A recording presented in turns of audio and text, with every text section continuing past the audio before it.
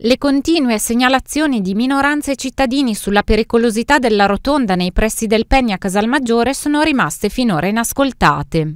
Si tratta di una zona ad alto traffico in cui si concentrano i grandi supermercati che un tempo era regolata tramite semaforo.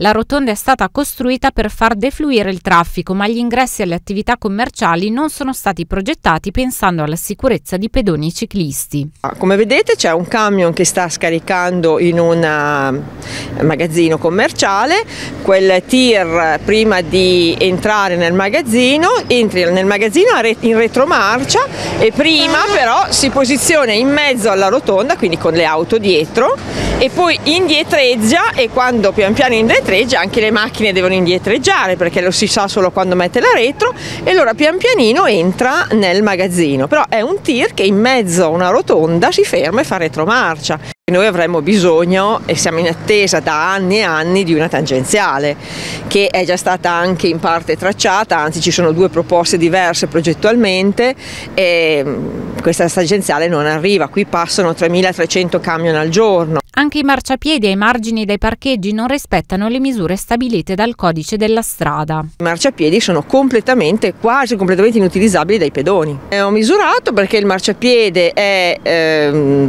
90 cm di per sé, però ha in mezzo i pali della luce che invece di essere messi nel, fuori dal marciapiede sono stati messi in mezzo al marciapiede, quindi come abbiamo visto misurando dal palo della luce alla fine del marciapiede ci sono circa 75-77 cm quando una carrozzina sia del disabile ma anche della mamma col bambino ha bisogno di almeno 90 cm almeno. Inoltre non è stata studiata alcuna soluzione per le biciclette soprattutto nel caso degli anziani che si recano a fare la spesa. Non c'è neanche un paletto di sicurezza che circondi i marciapiedi perlomeno nei punti più pericolosi e quindi è una zona che mm, è poco rispettosa del, del, pedone o della persona anziana che viene qua in, in bicicletta.